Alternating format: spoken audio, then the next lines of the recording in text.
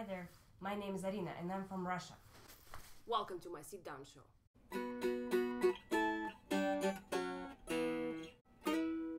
Americans ask me a lot of questions about Russia and I'm always glad to answer. Here are some fun facts I usually share. I started drinking when I was 13 and it's almost illegal drinking age in Russia. Once a camp I was going to was closed because there was too many bears around.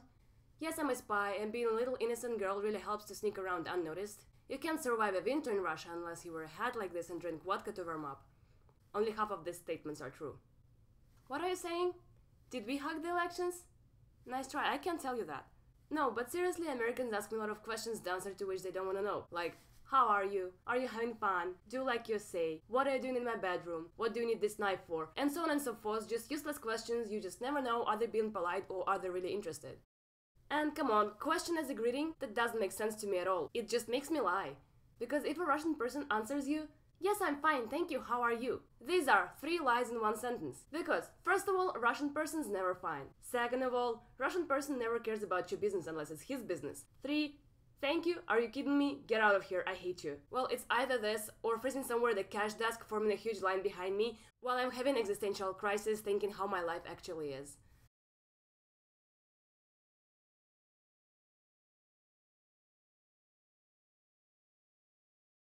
But you know, Americans also lie a lot. You just can't be fine if you're selling french fries at a random highway exit at 2 am.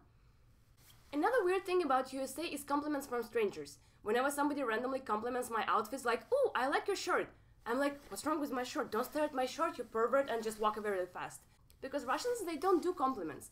You just keep your mouth shut to keep the worms inside, and calories are not free either. Wasting your energy like this, you can just end up starving to death. And also, everybody in Russia knows you don't talk to strangers because first thing you know, they're asking you directions to the library. Next thing you know, you're lying face down on the pavement with no money or phone.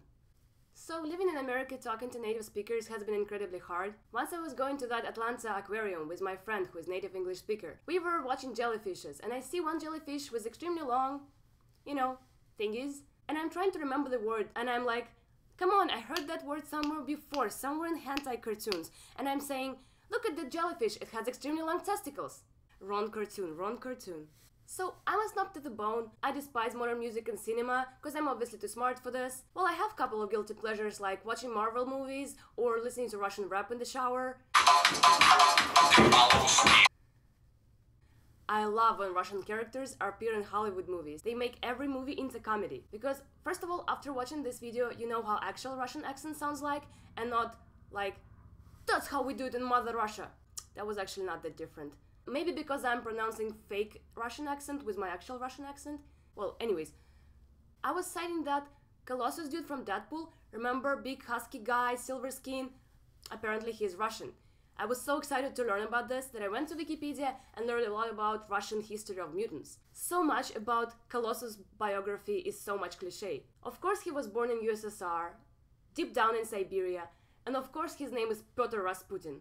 I wouldn't be surprised if they filmed another X-Men movie that would be called Russian Mutants Origins Vladimir Putin Returns. Well, actually we have that movie every 6 years. It's just called Elections.